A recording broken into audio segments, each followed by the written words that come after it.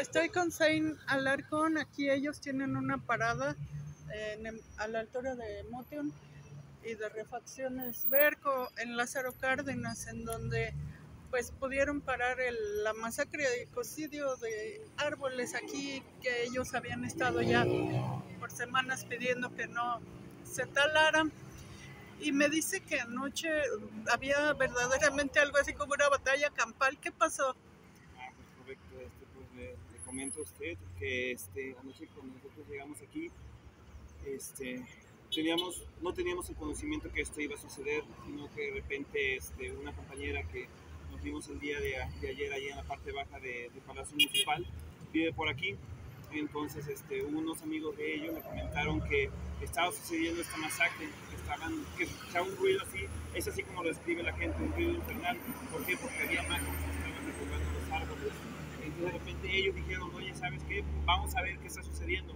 Se acercan y de repente este, prácticamente desde las 10 y media a las 12 de la noche estuvieron aquí tumbando árboles y árboles y árboles. Al principio nada más únicamente eran tres personas, se fueron sumando más, hasta el final llegaron ocho.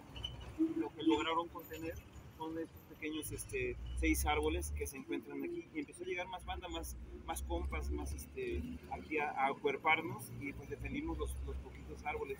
Nos enfrentamos, como yo bien comenté, a, este, a mucho trabajador que estaba haciendo su labor. La verdad yo puedo decir que la gran mayoría no fue grosero, incluso fueron muy amables en el momento de que nosotros les pedimos que por favor no cortaran los árboles. Solamente tuvimos con un incidente con alguien de una retroexcavadora que se atrevió, con tal de que nosotros nos moviéramos de aquellos árboles que se encuentran cercanos al puente peatonal, aventó toda esta basura, la quería este, aventar aquí al camellón. Entonces, este, aventó un gran tronco que no sé si todavía continúa ahí. Sí, aquel tronco que se encuentra por allá.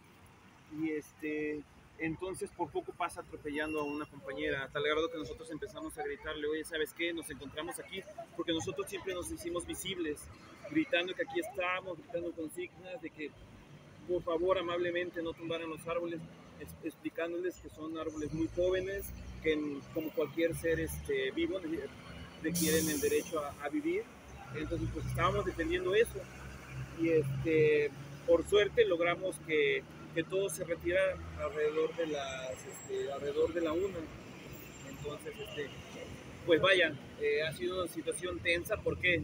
Porque hemos estado viendo constantemente que la policía está aquí viniendo. También igual, afortunadamente los medios de comunicación también igual han estado este, viniendo y sobre todo más en la mañana. Entonces hemos tenido aquí como los percances de que nos encontramos con, este, con los policías que nos, que nos hacen ciertas preguntas, incluso este, intentando descubrir nuestra identidad y este, o información personal que realmente nosotros también igual, este, como estamos en nuestro derecho, este, no, la, no la proporcionamos.